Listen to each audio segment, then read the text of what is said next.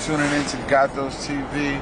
It's your boy Axel Leon. I'm Axel Leon on that Instagram thing. Just finished killing that flex thing. You can find me Body and Sway and all that. Richport 2 coming out.